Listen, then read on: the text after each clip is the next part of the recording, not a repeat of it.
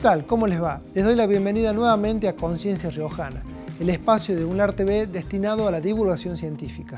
Mi nombre es Juana Baltroni y les voy a hacer compañía durante los próximos minutos. Y como ustedes ya saben, vamos a descubrir que la ciencia está en todo momento y en todo lugar.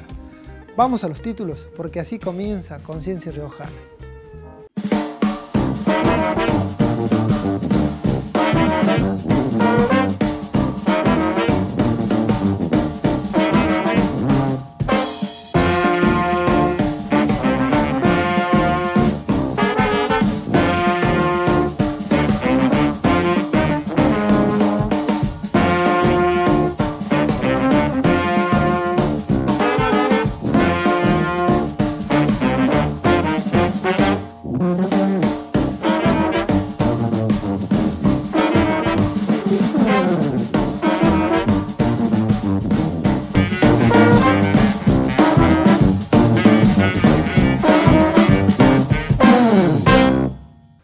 Las aguas termales de nuestro noroeste argentino son un recurso fundamental para el desarrollo de las energías alternativas.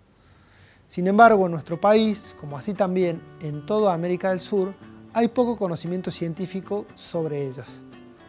Vamos a ver un informe que nos introduce en este tema y luego vamos a charlar con Pablo Alacino, quien es el docente responsable de esta investigación.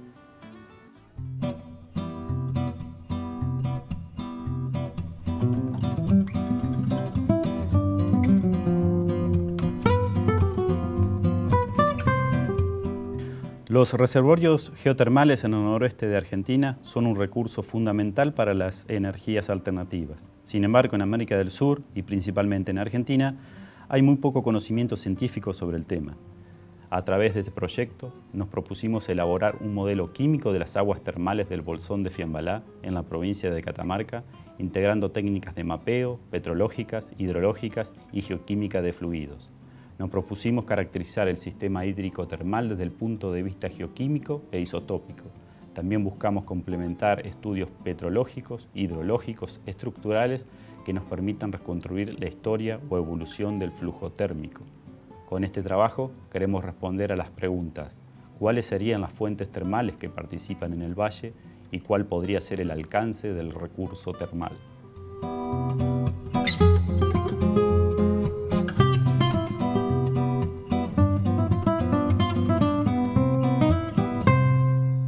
Luego del informe nos encontramos con quien es el responsable de esta investigación, el docente, doctor en geología y también investigador del CONICET, el geólogo Pablo Alacino. ¿Qué tal Pablo? ¿Cómo estás? Bienvenido. Muy bien, muchísimas gracias por, la invitación. Un gusto de estar acá. Gracias a vos por haber venido. Pablo, antes que nada, ¿qué son las aguas termales? ¿Cómo podríamos definir qué son las aguas termales? Bueno, las aguas termales eh, son, eh, las conocemos como surgencias, es decir, salen desde el interior de la Tierra, eh, generalmente con temperaturas más elevadas que una temperatura eh, digamos, ambiental. Eh, tenemos diferentes rangos de temperatura, pero más o menos oscilan entre los 25 o 20 grados y pueden llegar a pasar por arriba de los 100 grados centígrados, es decir, en, vapor de agua, que serían de, muy alta energía. ¿no? Bien. ¿Por qué elegir estudiar las aguas termales de Catamarca? Bueno, son puntos, es un punto interesante debido a que digamos, cuando tenemos urgencias en superficies de estas aguas termales, es decir, que en muchos casos se usan para balneoterapia, es decir, para, turismo, nos están diciendo que en el interior de la Tierra podemos tener eh, reservorios geotérmicos y de ahí que el estudio eh, geológico y geoquímico de las aguas y también de la, digamos, del entorno que las contienen nos ayudan a nosotros a modelar y tratar de aprovecharlo como un recurso. Bien, bien, bien. ¿Y por qué decimos o se afirma, eh, según su investigación, de que son un recurso fundamental para el desarrollo de las energías eh, eh, alternativas que están en boga ahora, ¿no? Sí, exactamente. Debido a que combustible fósil, como conocemos, tiene un alto poder contaminante y ya es acotado en el tiempo, porque probablemente tengamos cuatro o cinco décadas más de este, este combustible. Energías a base de petróleo. Exactamente. Eh, ya nosotros o, la mayoría de los eh, científicos y, estamos poniendo el, digamos, la visión en las energías eh, no, digamos, no contaminantes o limpias y el recurso geotérmico, eh, digamos, muy asociado con las, zonas cordilleranas, como nosotros tenemos acá en, La Rioja y en Catamarca en este, y hacia el norte en La Puna, eh, están, digamos, tiene un potencial muy grande para Argentina por el hecho de que son prácticamente inagotables. Es decir, un recurso que uno puede obtener, digamos, generar energía eléctrica en base de, la extracción de estas, del agua eh, termal o a, alta temperatura para mover turbinas. Pero antes que eso hay que iniciar el estudio, digamos, que, lleva su tiempo eh, en caracterizar estos tipos de surgencias y, tratar de tener un modelo conceptual en 3D para los futuros eh, estudios. O sea que faltan pruebas, faltan estudios. Exactamente, este es un paso inicial, es la caracterización, eh, en el sistema digamos, de geotérmico del Bolsón de Fiambalá, que todos conocemos digamos, porque tienen las aguas termales ahí en, Fiambalá misma, pero hay un grupo de surgencias dentro de, realmente de un bolsón o de un valle que en nuestro caso eh, tratamos, estamos tratando de, estudiar, de caracterizar químicamente eh, y saber o intentar saber de qué profundidad vienen, a qué temperatura están y, y si tienen un, o se pueden aprovechar desde el punto de vista energético. ¿Se sabe más o menos cuántas este, aguas termales, fuentes de aguas termales hay en, nuestro territorio aproximadamente? Y, digamos, tenemos en, lo que sería el NOA, es decir, el noroeste argentino, digamos, desde La Rioja hacia, hacia Jujuy, podemos decirlo, tenemos eh, una, unas un sistema digamos, que conocemos como la puna, eh, y, digamos, y esto es Sierras Pampiana, lo que estamos acá nosotros, y luego comienza la puna, que, que tiene una actividad volcánica muy importante, eh, moderna, producto del margen de subducción eh, que tenemos en la cordillera de los Andes, y esa actividad termal está en algunos casos asociada con la actividad volcánica, es decir, que tenemos magma en el interior de la Tierra, que eso genera una anomalía térmica en, la corteza terrestre y eso puede generar, y en algunos de los casos, si es un sistema con, digamos, ígneo, esta anomalía térmica y así calentar el agua que tenemos en, los acuíferos y luego las, salen las urgencias. ¿Mm? En el caso que nosotros podemos cuantificar ese recurso, podríamos eh, realizar perforaciones, por ejemplo, y sacar el agua eh, en un estado de, vapor, por ejemplo, y así mover turbinas y generar electricidad. Pero bueno, esto, nosotros estamos en la primera etapa de la fase de entender básicamente el, modelo. Eh, ¿Para qué sirve caracterizar el sistema hídrico, o sea, el termal, desde el punto de vista eh, geoquímico e isotópico?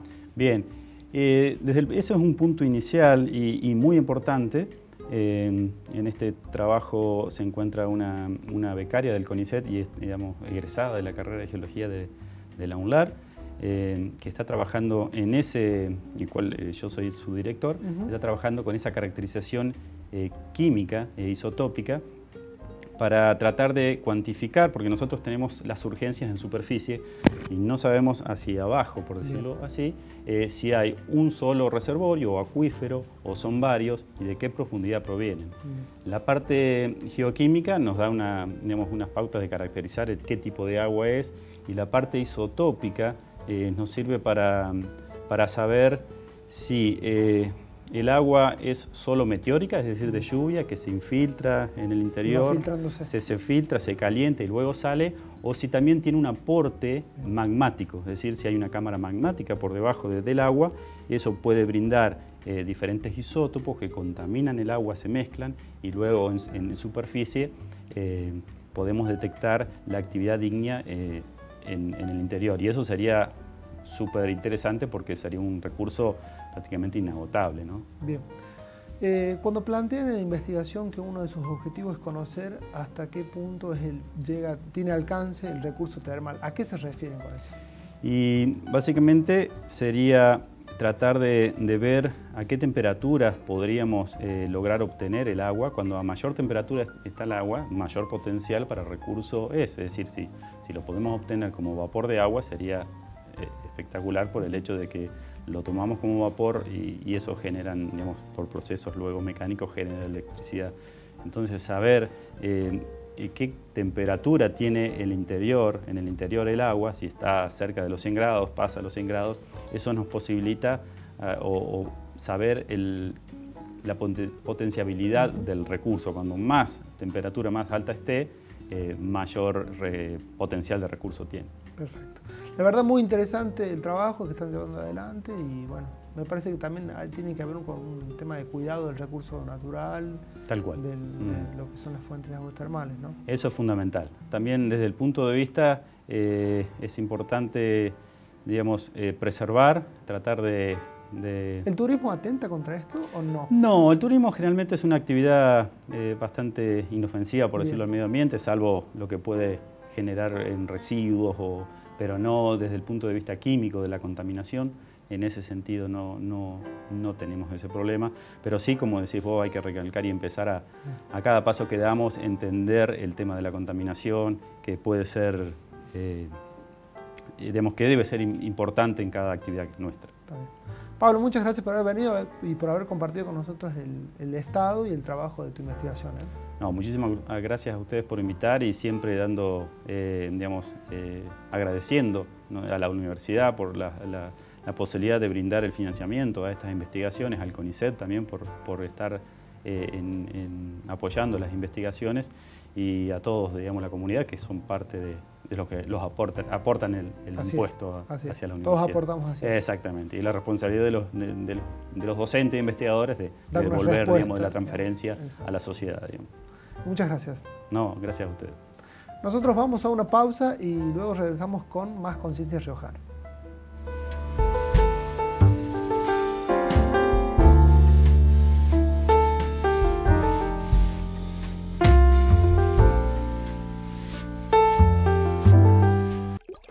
Hoy en día podemos beber leche gracias al vino, en realidad gracias a Luis Pasteur, en realidad es gracias a la química. Pero ¿cómo es que pasamos de los granos de uva al vino? No es magia, para que el jugo de uva se transforme en vino, interviene el microorganismo en un proceso químico conocido como fermentación. En ese proceso, la levadura, un hongo unicelular, interactúa con los azúcares de la uva, convirtiéndolos en etanol. Pasteur descubrió que para que exista la fermentación, se debían dar ciertas condiciones químicas y biológicas. Esta fue la base para desarrollar la teoría celular y la teoría germinal de las enfermedades, dando inicio a la microbiología moderna. Pasteur realizó otro gran aporte. Para preservar el vino por mayor tiempo, propuso hervirlo a 55 grados y así eliminar las bacterias que estaban dañando al vino. Este proceso fundamental para el desarrollo de los alimentos se lo conoce como pasteurización.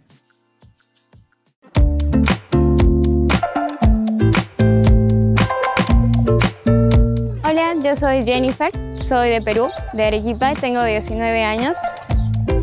Hola, mi nombre es Noemí Alejandra García Coca, vengo de Bolivia, del departamento de Potosí. Mon nom est Chanel Paul, je viens d'Haïti. Je vais venir ici pour étudier.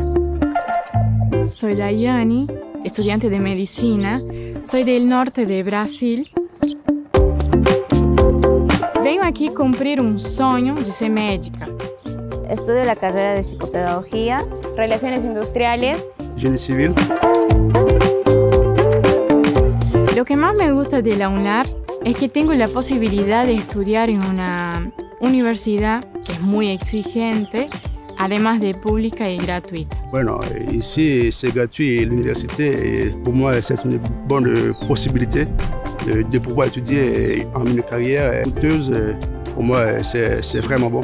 Más que todo es para que un estudiante tenga la facilidad y no esté todo el tiempo en gastos. La ULARA, al igual que la Universidad Nacional de San Agustín, que la que vengo, son públicas, te, te amplía los horizontes y además de eso te da las oportunidades para que tú puedas estudiar y educarte y con el tiempo ser alguien mejor.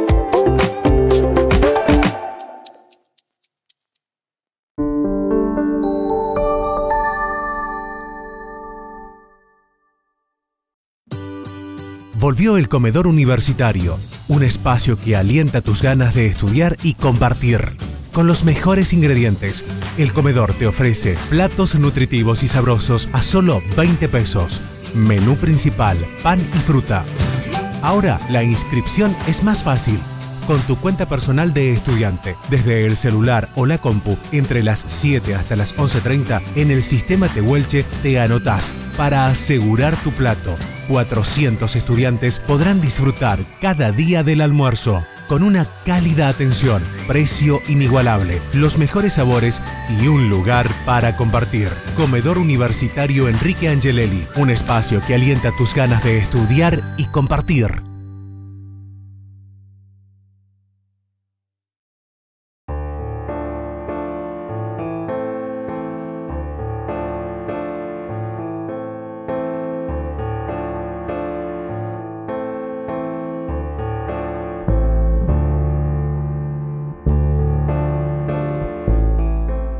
Se produce un acercamiento entre las personas donde se genera o se crea un espacio de trabajo creativo y colectivo a raíz del esfuerzo de todo el conjunto.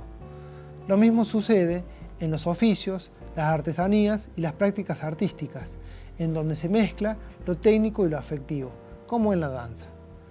Vamos a ver un informe que habla sobre este tema y luego vamos a charlar con Viviana Fernández, que es la directora de este interesante proyecto de investigación.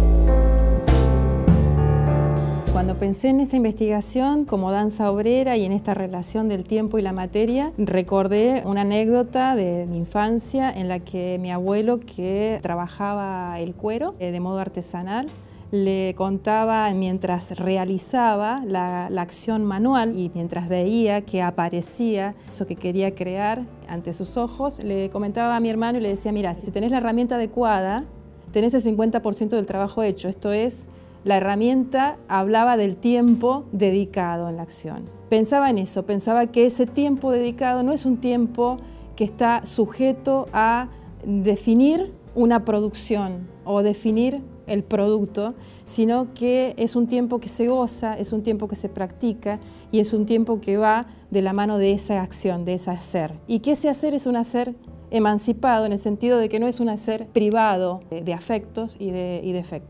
En esta relación encuentro entonces el lugar de la danza obrera con el cuerpo que baila.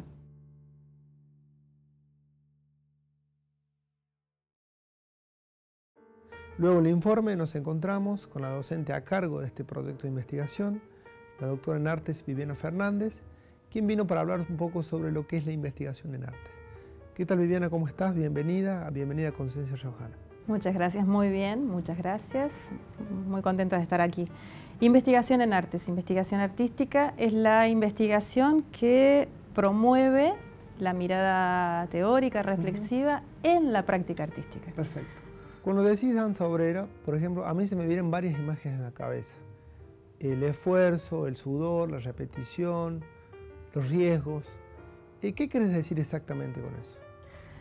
Bueno, es una pregunta re interesante, sobre todo para, primero contextualizar un poco de dónde surge la investigación de la danza obrera. La uh -huh. investigación de la danza obrera es una continuación de mi tesis doctoral. Uh -huh.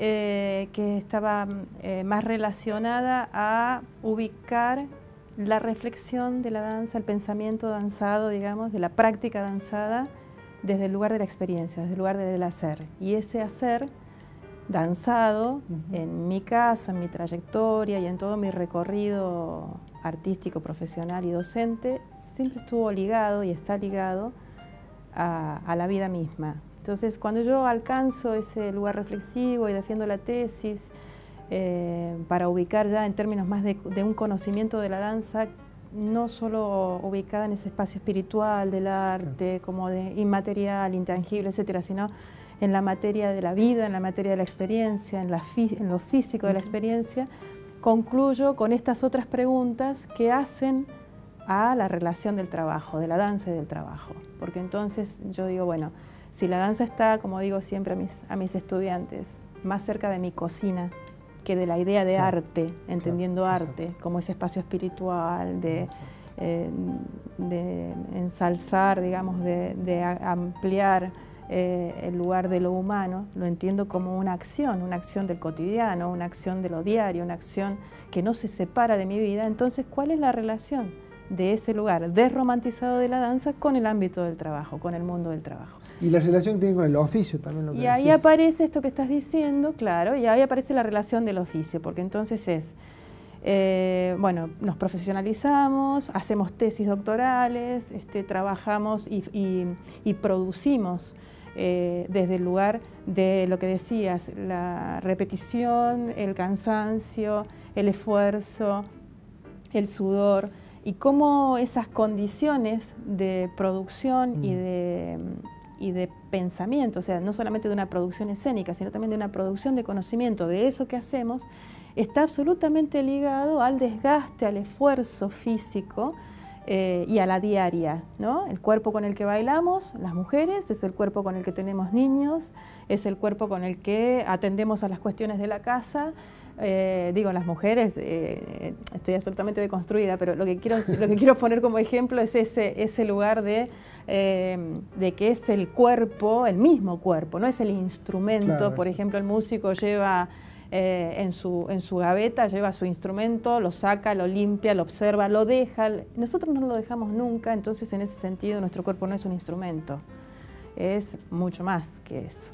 Y ahí está esta relación, ¿no? Y en relación a la repetición, que también es una construcción eh, fuerte en, lo teórico y en, también en lo metodológico, o sea, cómo es que aprendemos a bailar, cómo es que aprendemos a movernos, aprendemos desde el lugar del hacer y repetir y el hacer, y ese repetir nunca es el mismo repetir en términos técnicos, porque otra vez, vos no estás igual con tu cuerpo hoy que estuviste ayer, no estás igual, entonces siempre es un lugar de creación. Yo entiendo esto, ¿no? Que la danza obrera está inscripta en un lugar emancipado y mm. creativo.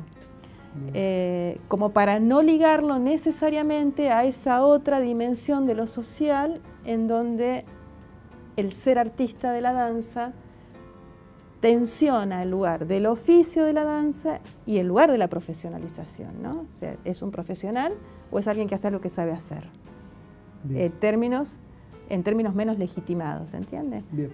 Em, ¿Y la relación del tiempo entre el cuerpo y la materia, por ejemplo? ¿Qué, estás diciendo con eso? ¿Qué querés decir? Se dice, se dice en términos filosóficos, teóricos, los estudiosos de la danza y de la música, que la música vive en el tiempo y la danza de alguna manera vive en el tiempo y también en el espacio. Eh, son, formas como de clasificar o tipificar algunas cuestiones de, de las disciplinas artísticas.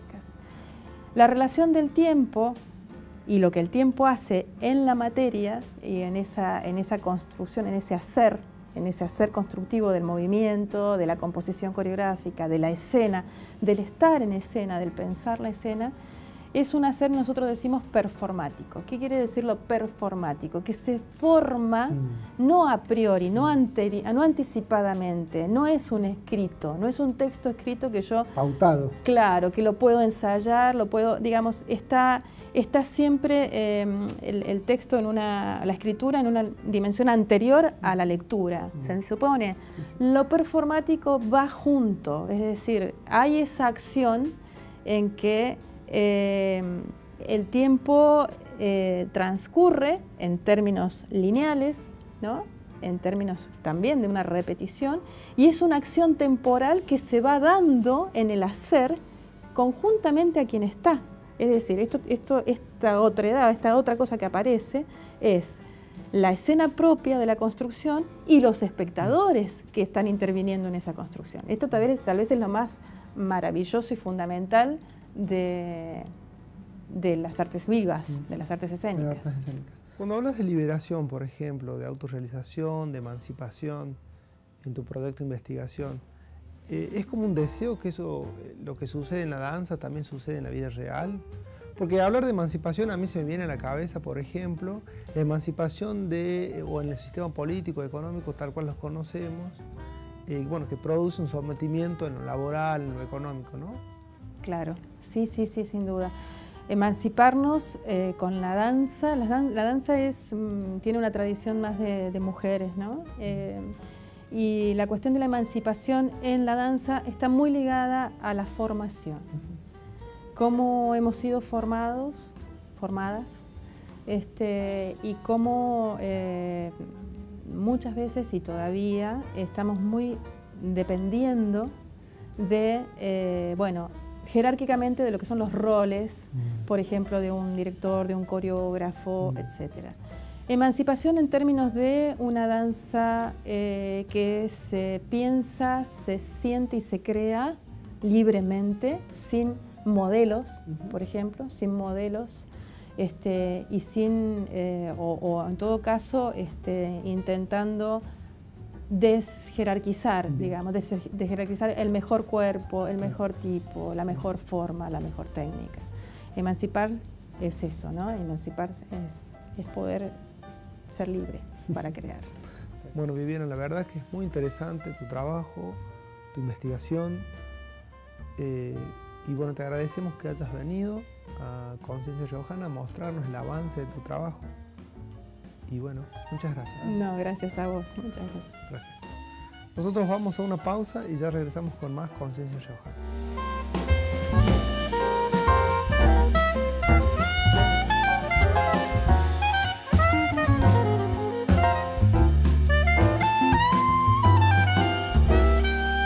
Desde la primera llamada realizada en el 1973, los teléfonos celulares nos pueden conectar con personas de distintas partes del mundo. El teléfono recibe nuestra voz y la convierte en un lenguaje binario, para luego transmitirla en una señal electromagnética. Pero esta señal es demasiado débil, por eso el teléfono la envía a una antena y esta es la base de la telefonía móvil. Cada antena tiene un espacio determinado de cobertura. Ese espacio tiene forma de celda hexagonal para evitar lugares sin señal y se denomina célula, de ahí lo teléfono celular. Entonces, la señal que recibe la antena se convierte nuevamente en una señal digital para ser enviada.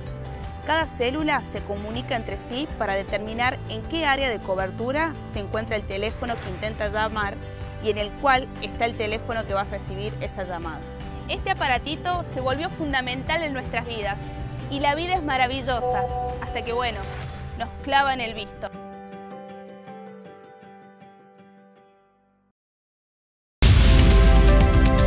Hace más de dos décadas que te contamos las noticias en todos los tiempos.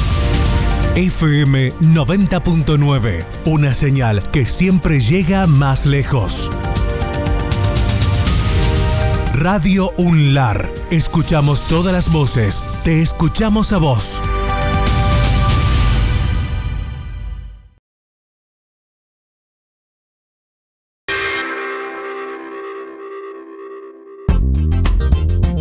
Mi nombre es Renzo Juárez y soy graduado de la carrera de Diseño Multimedial y estudiante avanzado de la licenciatura en Diseño y Producción Multimedia. Un licenciado en Diseño y Producción Multimedial es un profesional capaz de dar eh, soluciones comunicacionales a distintas plataformas de distintos medios. Por ejemplo, puede desarrollar eh, gráficas para, para, un periódico, puede trabajar en un diario, en la diagramación de un diario, puede trabajar en un canal televisivo, en una productora audiovisual independiente.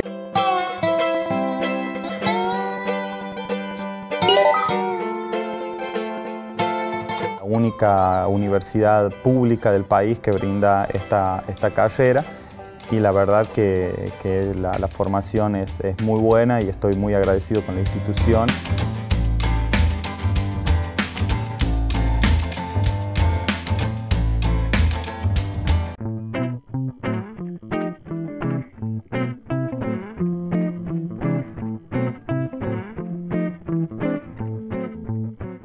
Espero que les haya gustado el programa del día de hoy.